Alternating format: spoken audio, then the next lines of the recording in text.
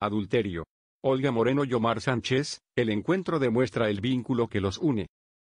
Omar Sánchez pisó Madrid y pronto todos comenzaron a preguntarse qué era lo que lo llevaba allí, las respuestas no tardó en aparecer teniendo en cuenta que había una reunión entre los participantes de Supervivientes anterior, en las fotos se puede ver que ha estado con Olga Moreno y Marta López.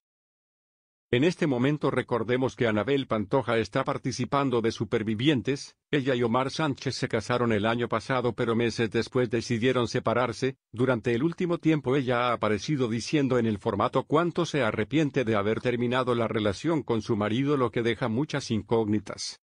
Por el momento Omar Sánchez no ha indicado demasiado al respecto pero lo vimos completamente feliz de reencontrarse con Olga Moreno, la ganadora de la edición pasada de Supervivientes y con su compañera Marta Sánchez, las redes sociales de todos se hicieron eco del encuentro, y el que fuera marido de Anabel Pantoja bromeó con su compañera expresando, aquí me he reencontrado con una persona que me robó el pergamino.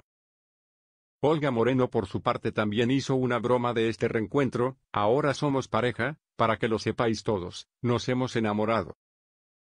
Después de que la ex de Antonio David Flores afirmara que se había enamorado de Omar Sánchez saltó la otra compañera, Marta López para decir, mentira, que no son pareja. Posteriormente la colaboradora también besaba la mejilla de su amigo.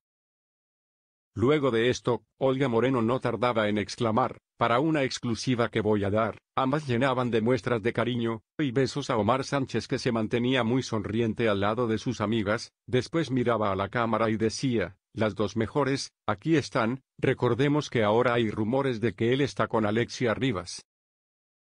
Realmente el encuentro entre Omar Sánchez, Olga Moreno y el resto de los compañeros de la temporada pasada de Supervivientes ha dejado muchas imágenes bonitas, por el momento se ha visto al que fuera marido de Anabel Pantoja rodeado de cariño y disfrutando mucho del brindis.